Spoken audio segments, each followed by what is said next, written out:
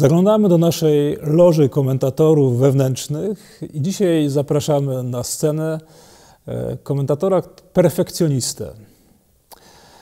Kiedy on e, wyrywa się do głosu? E, wtedy, kiedy popełnimy jakiś nieopatrzny błąd, kiedy czegoś nie przewidzieliśmy i mówimy sobie wtedy w środku, że on mówi do nas, jak mogłem tego nie zauważyć? Jak mogłem popełnić taki błąd? Jak mogłem taką literówkę zrobić? Jak mogłem e, użyć tego słowa?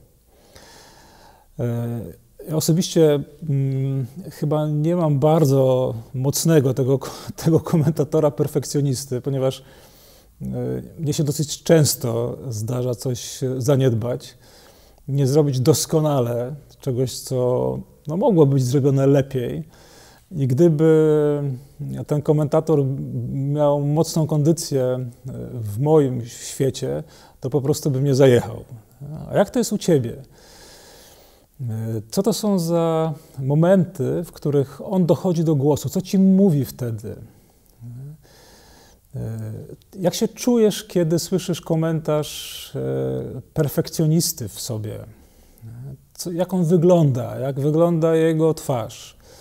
E, jak wyglądają jego oczy, jakim mówi tonem, co ci to robi, co masz wtedy ochotę zrobić.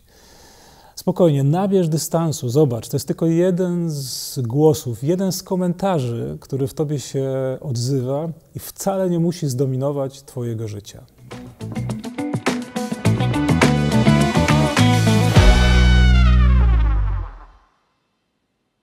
Ta seria nie mogłaby powstać bez wsparcia naszych patronów.